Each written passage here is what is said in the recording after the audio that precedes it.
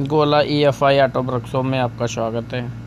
आज हम आपके बीच एक नए वीडियो के साथ। इस वीडियो में हम देखेंगे जो हमारे मीटर में तबलों में जो लाइटें आती हैं बार्निंग लाइट जो भी आती हैं, जितनी भी सा लगभग तीस लाइटें आती हैं, जो कि तीसों लाइटों के बारे में जानेंगे। वीडियो को ध्यान से देखें और पूरा देखें।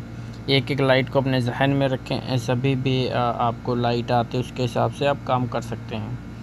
एक्टर्स में तीस लाइटें आते हैं, तीस के तीसों लाइटों के बारे में आप इस वीडियो में जान सकते हैं और समझ सकते हैं। वीडियो में बना रहिएगा, वीडियो को पूरा देखिएगा, आखिर तक देखिएगा। अगर आपने चैनल को सब्सक्राइब नहीं किया तो सब्सक्राइब कीजिएगा और लाइक कीजिएगा, अपने दोस्तों के साथ ज़्यादा से ज़्यादा शेयर कीजिएगा।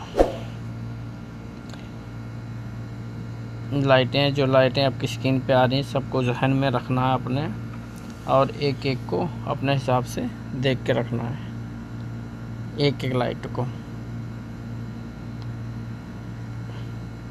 जहन में रखना बहुत ज़रूरी है। अगर आप जहन में नहीं रखते हैं तो आपको इन फ्यूचर दिक्कत आती क्योंकि कभी कभी ऐसी लाइट आ जाती है जो हमें समझ में, जैसे कि ये क्लच ओवरलोड की लाइट है। ये बहुत कम आती है, लेकिन आती है कि कंपनी ने दिया है तो बिल्कुल भी आती है। ये ऑयल लेबल ऑयल प्रेशर इंजन ऑयल, इसके बारे में हर एक चीज़ के बारे में एक बार्निंग है जो कि बार्निंग बहुत ही इम्पोर्टेंट है। आप देख सकते हैं।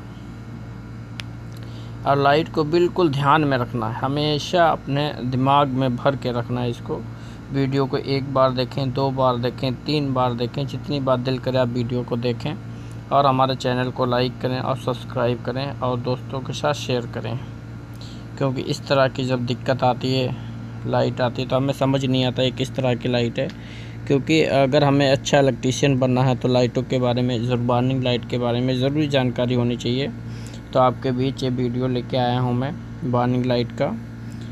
ये सारी बार्निंग लाइट जो कि ब्लैक एंड वाइट में हमारे पास अवेलेबल हैं तो उसी के हिसाब से मैंने मेरे पास जैसे ही कलर में इंफॉर्मेशन आएगी तो इन कलर के लिए एक नया वीडियो बनाएँगे। जब तक हमारे चैनल पे आप बना, बने रहिएगा और वीडियो को बार बार देखिएगा। Assalamualaikum.